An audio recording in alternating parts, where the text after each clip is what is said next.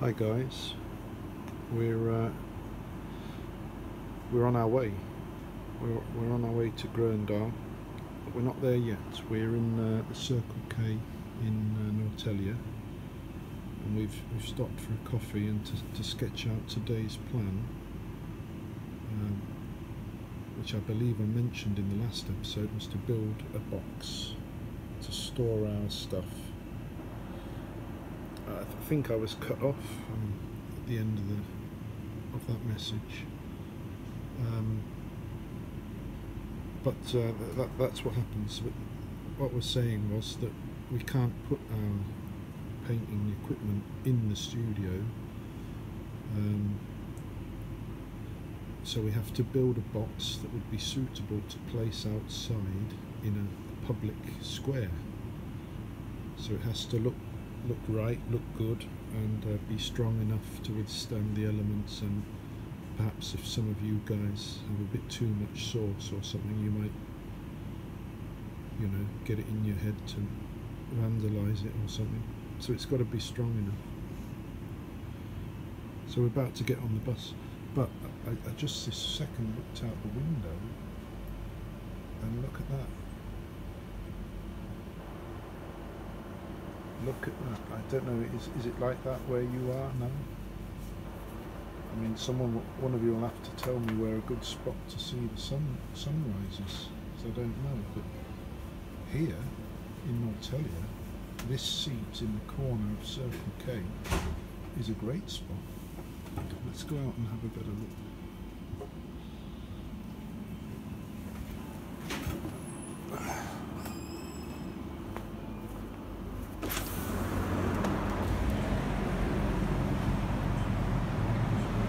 Yes, look at that. Goodness me.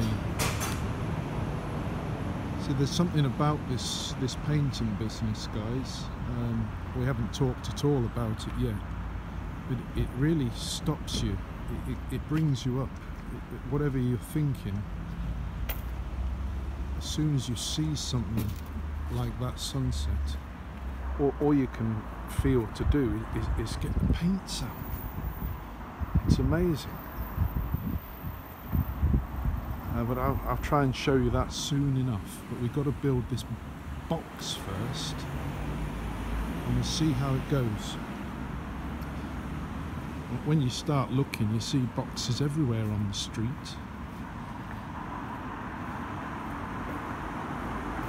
But we're going to build one, custom built. Jonas, the course leader, has got all the tools. He's also got a contact at the the uh, the wood suppliers, which is on the main road where the tram goes, just after the stop, which is I think called Trekanten, and it's uh, it's close by to the development site and I went in that shop on Jonas's advice uh, and I walked, as soon as I walked in someone yelled at me and I think they said that it, this shop's not for customers it's it's for business accounts. Um, so, so, I said I know and, and, just carried on. But uh, indeed they've got all the wood one might ever need to, to build anything. And apparently Jonas has an agreement with the owner which might see us secure the wood for free. That's the idea. So uh, we're going to get on the bus and um, see you down there.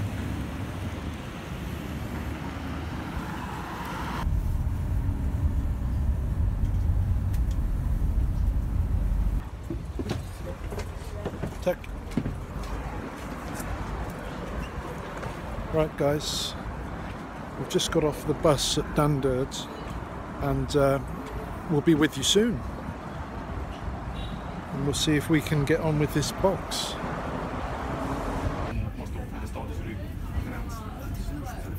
just saying we have to get a move on get the stuff quite quickly. we're gonna get back by like five o'clock. Vi har träffat tjejernas brorsa. And that's probably the best case scenario. And of course, if, it, if there's any snags along the way, it's just going to delay everything. So it's a very Um, once we get there, we have to go straight to the supply uh, place and try and be going by midday. And then to have it pre-planned so that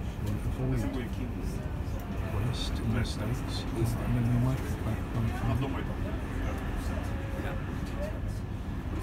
and if not, we'll just have to pick it up tomorrow. That's really, really, uh, to really try and avoid that because uh, Jonas doesn't want us to leave, you know, half-built materials in space.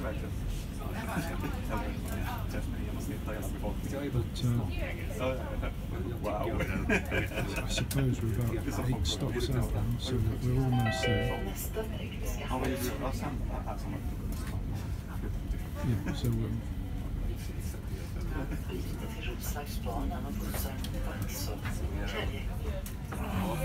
yeah, we just can't begin until this is done. Simple that. We don't have a place to, to store the, you know, the messy stuff. It's impossible. We, can't bring everything with us. No, Eh, Han tycker att man, ska, man får in that.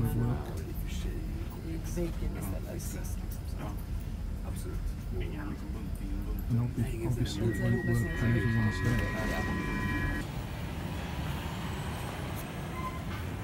Right, guys, we're here at last.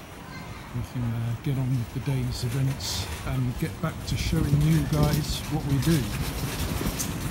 The first thing we've got to do uh, is to get some lunch, uh, and that means going to Lidl up here because we we tend not to eat much uh, at lunch, and we just gr- grab a bread roll at Lidl. Anyway, that, that's uh, that's my business. Bit of activity there. Do you know those guys? Uh, so yeah, we- we're on our way, and uh, I suppose it's ten minutes walk from here, isn't it?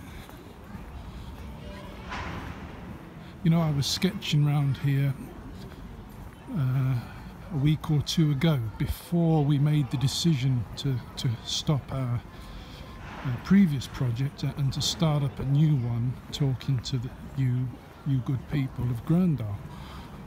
And I was here sketching uh, these trees. and uh, when I was sketching them, there, there was an awful lot more leaves, and, and I was I was waiting for the leaves to disappear so that I could see through the tree onto the to the architecture and, and the uh, the logos of all the businesses there. And now I think that will be a pretty good painting. So we'll see what we can do. In fact, it, it might be a good painting to do in the snow. Presuming we get any snow. But anyway, we're here. We're here in the shop. Certainly, where I live, there hasn't been as much uh, snow as there used to be. Um, my my partner tells me of her childhood winters, which are very different to the ones we have now. She she could rely on snow for weeks and months, uh, and she could do you know winter sports, ice skating, pretty much guaranteed. Oh, hold on a second. Could you see they've got uh, they've got these brushes? Look. Now that might come in handy. since we're starting fresh over here, uh, the wretched paint needs a few brushes. What have we got? Uh, 60 kroner. You know, I think we're going to have to have to get them as well. And then uh, a couple of bread rolls, and they will be golden.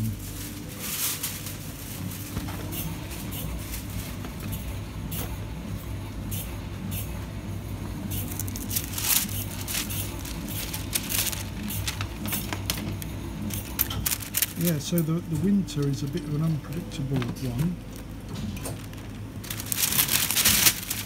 We can work in the winter, no problem.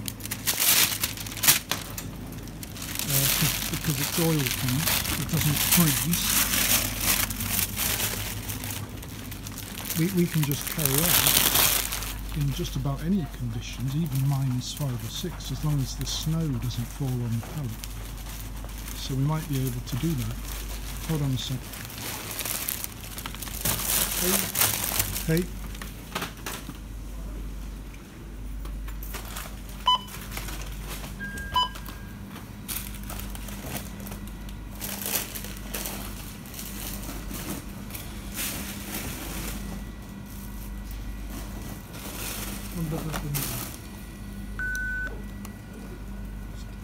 Hopefully got enough on the card here. I'm never sure. En gång till för En gång till. tack så. Results, yes, tack. Tack.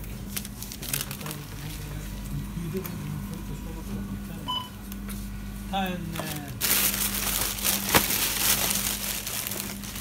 So now we uh, really can get going and um, I'll turn it back on hopefully in the wood supply shop. And if all goes absolutely according to plan, we'll be uh, manning the, the power tools by about 12 o'clock with it all finished by 4. Let's see how that pans out.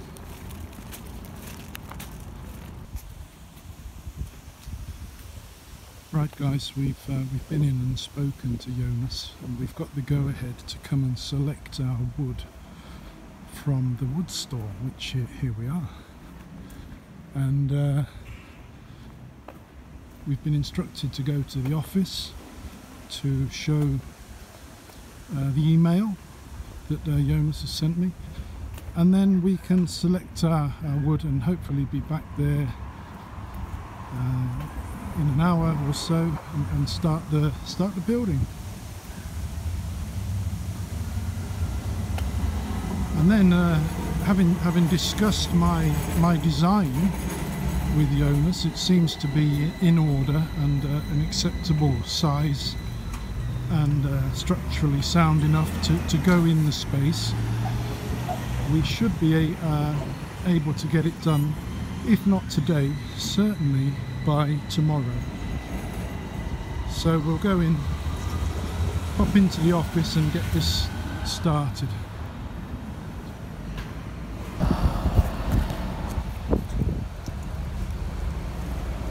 Okay guys, we have succeeded in getting the wood.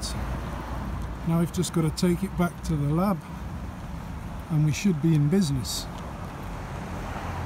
The only problem is they don't have a wagon, uh, so it's a it's a case of me taking it one by one, which isn't the end of the world, since it's only about 500 meters.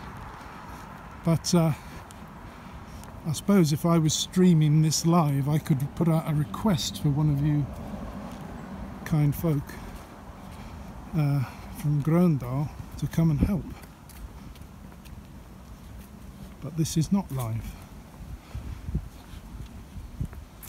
And in fact, we're, we're yet to work out exactly how we are going to put this up. Um, but that, that's, a that's another story.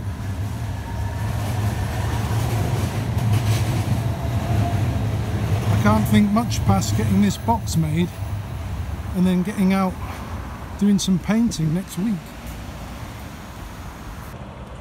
Right guys, we managed to secure a wagon after all. So that sped things up a bit. I'm just going to take it back and then uh, we'll start building. I'm just going to put you down a second.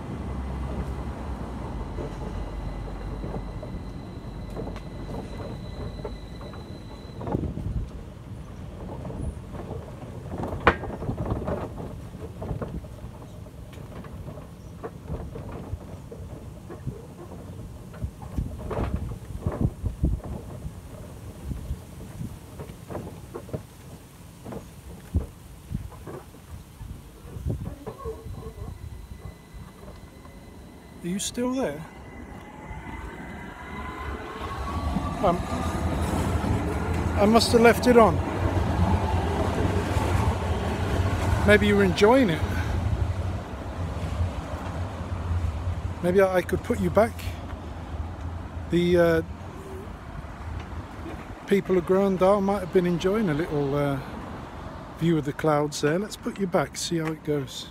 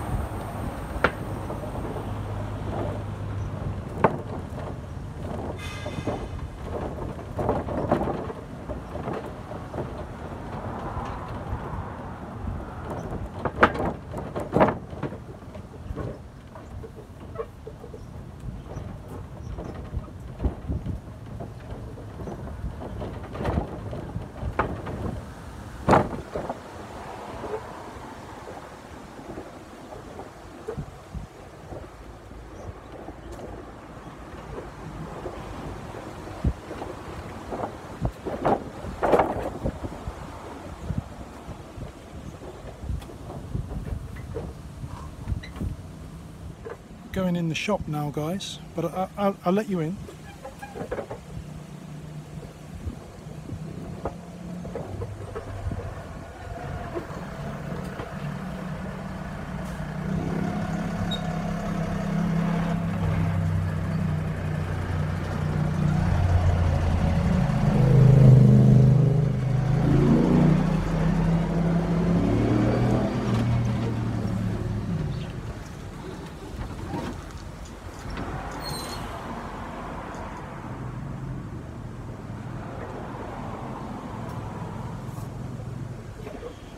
Just waiting for a big truck to get out of the way here.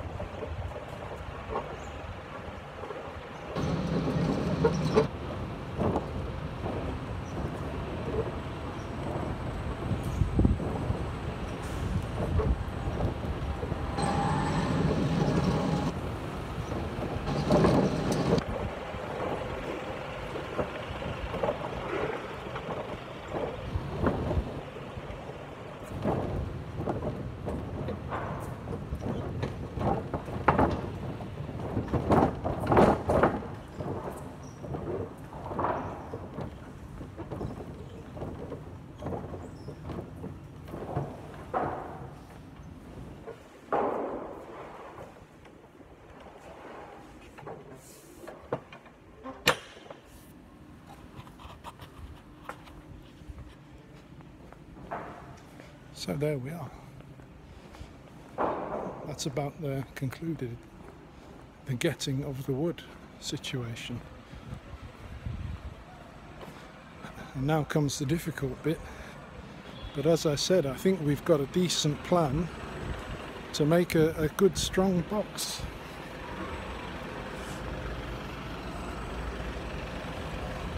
I better turn this off before I get run over by a, a forklift.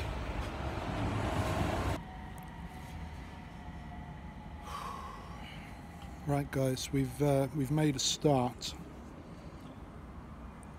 We've got it all set up here. We've done a couple of cuts, and now we're having a, a little lunch break with our little uh, rolls. So you see, it's all coming together.